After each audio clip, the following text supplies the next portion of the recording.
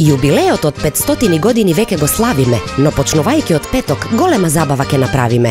Ве покануваме најпрви на 8 ноември. Ке настапат Ата, Елита Пет, Кастро, Ки, Ивона Јовановиќ, Мартинијан Кириловски, Марио Арангеловски, Мартија Станојковиќ и во 22:30 часот два бона. За 9 ноември фатете заветар за Next Time од 20:30 и Дженан Лончаревиќ од 21:30 часот. За лепа брена ке ве загреат Нино, Маргица, Сандра Милковска и дувачкиот оркестар на Бојан Ристич. 10 ноември 21.30 часот. Среќен празник, граду мој, е јубилејното кумановско мото. Честито 500